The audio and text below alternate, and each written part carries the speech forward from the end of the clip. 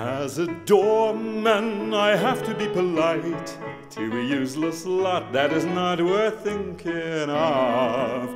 Yet, in serving those children of the night, it's the cross I bear for a fair young maid I love. For Louisa says she'll be my bride just as soon as I've put enough cash aside. So while I'm counting my tips, I dream of the lips of my Louisa. My Louisa lives in Pisa, down in sunny Italy.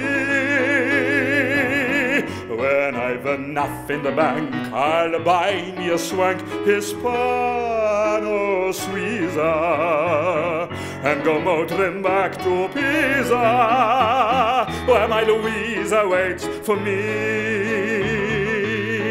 No one has the least idea how I love Louisa Mia.